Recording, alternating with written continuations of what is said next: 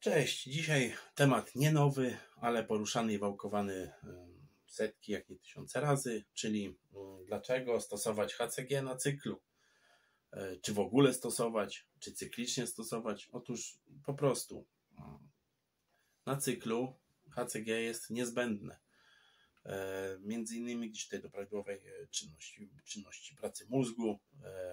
Oczywiście tych informacji tutaj jest też wiele, gdzieś mógłbym wymienić gdzieś tutaj do, do prawidłowego funkcjonowania jąder, co jest podstawą przecież e, do ogólnie wytwarzania pregnenolonu, co, o czym wspomnę trochę później. Mm, ten hormon ogólnie jest tak naprawdę e, jednym z najważniejszych hormonów, mm, jakie ogólnie posiadamy, e, ponieważ on właśnie tutaj mm, tak naprawdę początkuje łańcuch tych procesów hormonalnych a z kolei HCG jest potrzebne do e, prawidłowego poziomu mm, tego hormonu. O tym oczywiście też pisałem u siebie. Sporo jest, e, znaczy sporo, sporo podstawowych informacji na temat tych hormonów, gdzie można właśnie to wszystko przeczytać w jednym miejscu. E, oczywiście HCG e, przede wszystkim stosujemy gdzieś tutaj dla zdrowia, mm, jako oczywiście ta profilaktyka. Naturalna produkcja HCG u mężczyzn występuje na poziomie około 500 jednostek tygodniowo, więc e, oczywiście zostaje zahamowana na cyklu. Dlatego musimy gdzieś z zewnątrz podać podobną ilość, aby po prostu organizm mógł normalnie funkcjonować. Jakie ilości podaje właśnie? Jak już powiedziałem, E, około 500 jednostek tygodniowo organizm produkuje, więc musimy przyjąć mniej więcej taką ilość.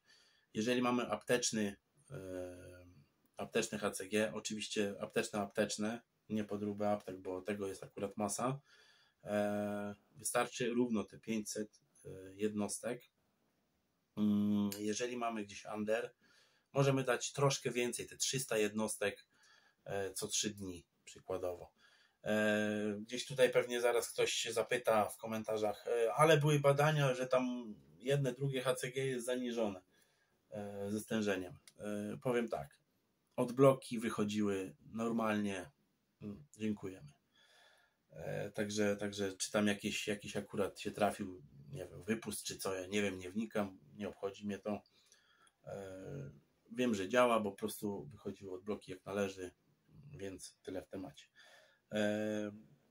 I tutaj co, co do HCG, dlaczego w ogóle jeszcze warto, warto w ogóle, tak powiem, suplementować, podawać. Po, poza właśnie tymi mm, aspektami zdrowotnymi, także gdzieś tutaj dla samopoczucia, mm, ogólnie właśnie dlatego, że chcemy zastąpić tą produkcję naturalną, tą, która jest zablokowana, podawaniem właśnie z zewnątrz, żeby właśnie organizm mógł normalnie funkcjonować, tak jakby tak naprawdę nie było tam tej blokady.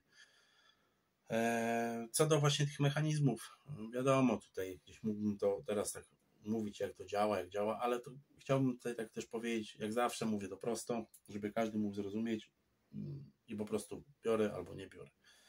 E, oczywiście gdzieś tutaj chodzi o mm, po prostu naturalną, naturalną e, o po prostu zachowanie zdrowia przede wszystkim jąder, co jest tak naprawdę kluczowe gdzieś tutaj dla, też dla zdrowia no, późniejszego, teraźniejszego, pod sam odblok właśnie. No, jeżeli stosujemy HCG na cyklu, będzie nam łatwiej się odblokować. E, co więcej, oczywiście możemy też zachować w pewnym stopniu płodność na cyklu dzięki HCG. E, przede wszystkim właśnie są te aspekty zdrowotne, co jest właśnie według mnie podstawą, mm, jeżeli gdzieś stosujemy e, środki. Zachowanie zdrowia. O tym pregnenolonu trochę jeszcze bym nadmienił. E, dlaczego on jest taki ważny? Przede wszystkim gdzieś tutaj e, wspomaga to pracę mózgu, e, chroni przed demencją, Alzheimerem. Oczywiście te informacje, jeżeli chcecie, po prostu w moim profilu znajdziecie, bo opisywałem te hormony, więc na spokojnie każdy będzie mógł to sobie przeczytać. Chroni też przed chorobami wieńcowymi, E, gdzieś tutaj e, także ważne kolejne aspekty. E, dlaczego właśnie pregnolon jest tak istotny? Ponieważ po prostu jest to taki, no, można powiedzieć, prekursor wszystkich hormonów. On tak naprawdę, on tak naprawdę początkuje wszystkie te procesy związane z innymi hormonami, mm, między innymi właśnie DHEA, którą też opisywałem. Mm, to są właśnie takie łańcuchy. Jeżeli przykładowo nie podajesz tego HCG, e, wszystkie te działania zostają gdzieś tutaj zablokowane tak naprawdę, przez co właśnie mm, dostaje po dupie twoje zdrowie.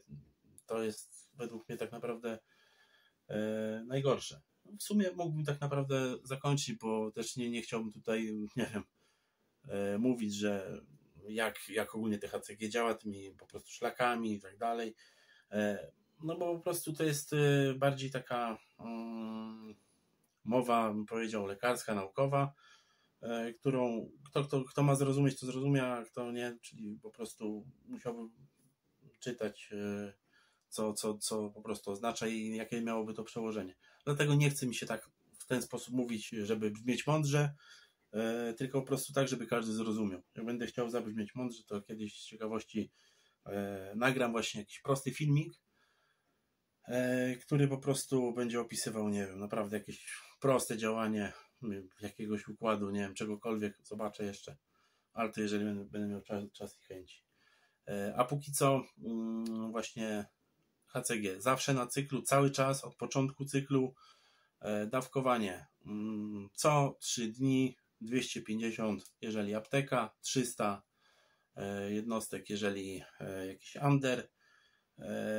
Oczywiście tutaj sprawdzanie w, w testami ciążowymi nie ma sensu większego tak naprawdę.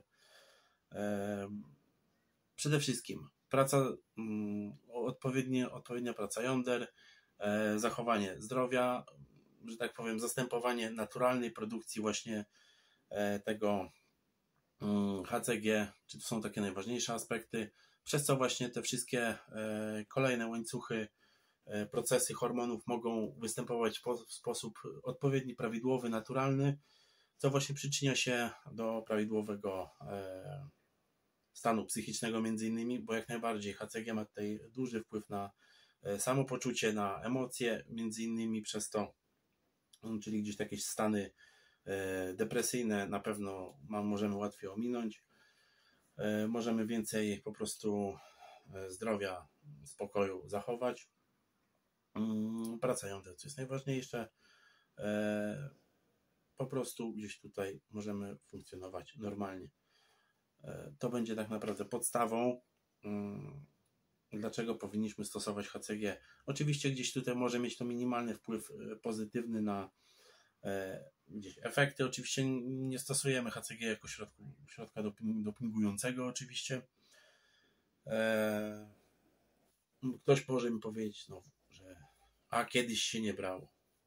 A ja powiem, a kiedyś się z maczugami biegało. No nie brało się kiedyś, bo nie było po prostu takiej wiedzy. Nawet e, teraz aktualnie mm, lekarze e, podczas stosowania TRT faktycznie niekoniecznie trzeba stosować e, HCG, ale warto.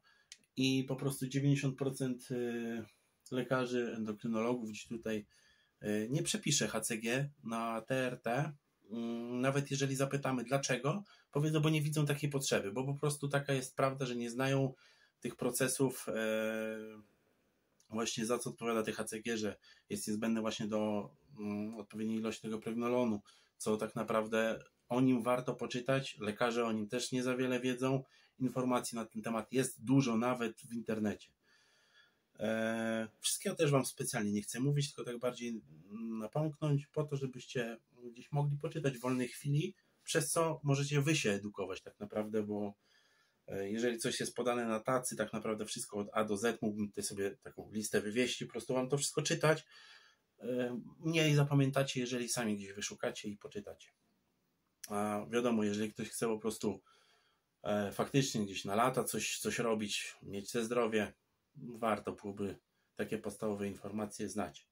E, dlatego właśnie też lekarze, e, jeszcze wracając do tych lekarzy, e, nie przypisują HCG, bo po prostu nie, często nie, nie, nie wiedzą, nie, nie wiedzą po co, dlatego że po prostu kiedy, wtedy, kiedy oni po prostu uczyli się na tych lekarzy, ta wiedza tak naprawdę była 60, aktualnie jest, już by była 60 lat wstecz, e, kiedy większość lekarzy się uczyła. A tak naprawdę e, lekarze, którzy faktycznie mają jakąś wiedzę, przypisują HCG, ogólnie mają, mają pojęcie o e, wszystkich hormonach, tak naprawdę co za co odpowiada, jakie, jest, jakie, jakie powiązanie ma jeden hormon do drugiego, po prostu edukują się gdzieś na własną rękę.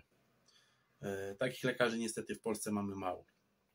Mm, ktoś może tam właśnie e, przytoczyć też taki jest e, filmik, gdzie już parę osób to udostępniało pod filmami innych osób mówiących o HCG, że HCG jest zbędne. Ta wiedza, którą tamten lekarz przekazuje, jest z, czasów kamienia upanego jeszcze, gdzie po prostu śmieję oczywiście, że jest po prostu stara, nie, nie jest e, na tyle rzetelna. Aktualnie są metaanalizy, nawet badań, że, że po prostu E, HCG jest tak naprawdę e, no, niezbędne do prawidłowego funkcjonowania organizmu całego. E, nie chodzi tutaj gdzieś o aspekty jakieś tam kulturystyczne czy po prostu sportowe, ale po prostu normalnego funkcjonowania. Mm, dlatego war, warto właśnie gdzieś szkolić się, uczyć, edukować, czytać, czytać nawet więcej, nawet jeżeli są jakieś głupoty, możemy te głupoty porównać z inną wiedzą, bardziej rzetelną, gdzie po prostu E, wiemy, możemy, możemy po prostu prze, przesiewać tą wiedzę. I tak naprawdę dzięki temu będziemy mogli też wiedzieć więcej. Miałby być o HCG, ale jeszcze tutaj właśnie tak wspomniałem o tej nauce dla Was, co tak naprawdę e, bardziej się przyda. Jeżeli gdzieś chcecie więcej o tym HCG, to u mnie jest napisane e, o HMG, jest napisane o innych hormonach podstawowych i nawet ta podstawowa wiedza, bo to są tak naprawdę podstawowe informacje, tylko skumulowałem to E, gdzieś w krótki taki materiał, żeby każdy mógł to przeczytać i gdzieś każdy mógł wynieść coś dla siebie. E, dzięki za oglądanie. E, wiem, że nie aż tak, nie, nie ma tutaj aż takich konkretów, jak byście pewnie oczekiwali, ale specjalnie też tak to nagrałem, ponieważ Krystian, też tutaj jeden z trenerów, na grupach o HCG dosyć dobrze wszystko opowiedział, tak naprawdę wszystko, co było możliwe a ja chciałbym bardziej Was ukierunkować na to, abyście sami się edukowali.